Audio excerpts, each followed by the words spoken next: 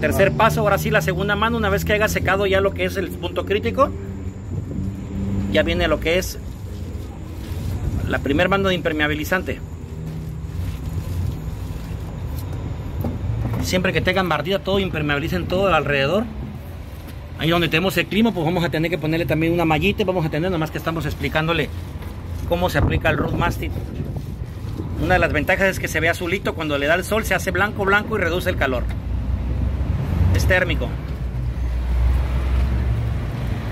Es bien fotosensible, así es como se, se va aplicando lo que es ya la segunda mano y tapando el punto crítico.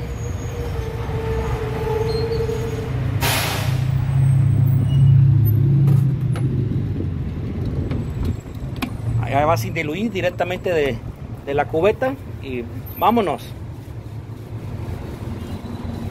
Más o menos unos 20 metros cuadrados aplicamos con, esta, con este impermeabilizante.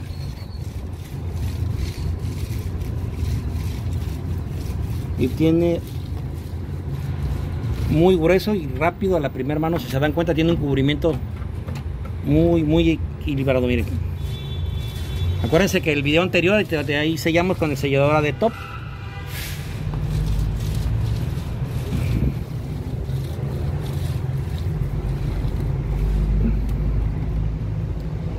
Este es el tercer paso. Ya la última mano, pues ya la ya se lo dan este, después de que seque. Le damos la última manita ya directamente y ahí queda ya completamente el sistema de impermeabilización. Nos vemos.